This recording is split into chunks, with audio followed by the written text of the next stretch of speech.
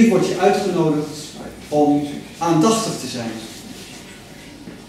Aandachtig voor de bron van ons bestaan. Aandacht voor datgene wat ertoe doet in het leven. In de fotowedstrijd die we een paar maanden geleden hebben uitgeschreven en de tentoonstelling die nu dadelijk geopend wordt. Ik hoop u allen en velen na u met aandacht deze tentoonstelling zult bezoeken. En ik wil dan graag het woord geven aan de voorzitter, Jos Straat. Dank u wel. Door aandacht te vestigen op datgene wat dikwijls verborgen blijft. Het verborgen leed, ondergrond zou je haast zeggen, dat is vorig jaar in tegengesteld door dat beeld van de mijnwerkers.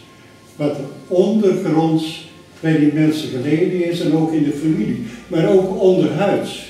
Het is toch fijn dat we het verhaal weten van Wim Peters, van Dolf de Genezene, al hoe lang? 1999, 11 april. Zo lang loopt hij al in zijn wonder rond. Ja, en wij kwamen op het idee, als we nou eens een fototentoonstelling doen met het thema aandacht, wat hier eigenlijk rondzwerft. Wij hopen dat u eens stil gaat staan bij die foto's en zelf een keuze maakt voor degene die u zou kiezen. Dank u wel.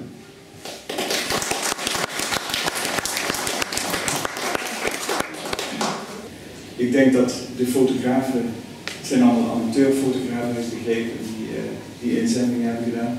En dan zie je dat ieder zijn eigen manier kiest om aandacht neer te zetten. Aandacht voor de natuur, aandacht voor de persoon. Uh, aandacht, ik zie daar foto nummer 15 van mensen die weglopen en er zit iemand op de grond.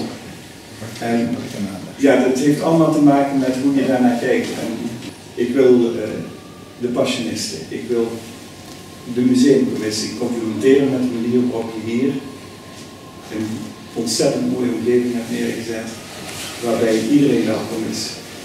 En ik, ik hoop dat u, ik ben blij dat er een grote opkomst is op dan, en dat de komende maanden nog meer mensen ook deze expositie zullen bezoeken.